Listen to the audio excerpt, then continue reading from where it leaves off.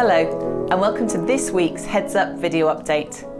It's been a pleasure to welcome our students back after the half term break and to hear their holiday news. This relatively short half term, just over six weeks, promises to be fun filled and busy. There are many great events to look forward to. For example, our sports presentation evening, our arts awards, sports day, and the upcoming music tour to Malvern and Worcester. We're very much looking forward to welcoming parents into school to celebrate alongside us, and my letter this week has details of the dates and times.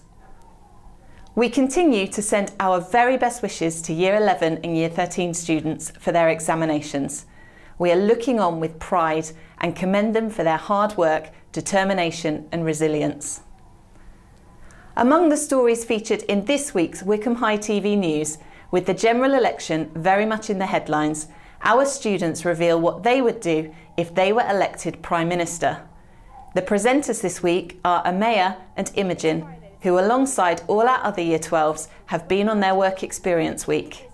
As well as producing, script writing, editing and presenting for Wycombe High TV, we've had students working at Pinewood Studios, Hello Magazine, working in aerospace, law firms, architects and many, many more.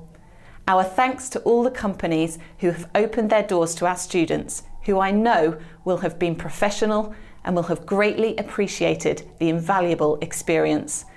We are all very proud of them. They are such great ambassadors for Wycombe High School. You will also see on Wycombe High TV News this week how our Year 7s have been out and about on a geography field trip around High Wycombe and how our under 14s competed in the County Touch to Twickenham Touch Rugby Tournament and took the victory. Looking out of my window, it does look like summer is finally around the corner, so let's hope the sun shines this weekend.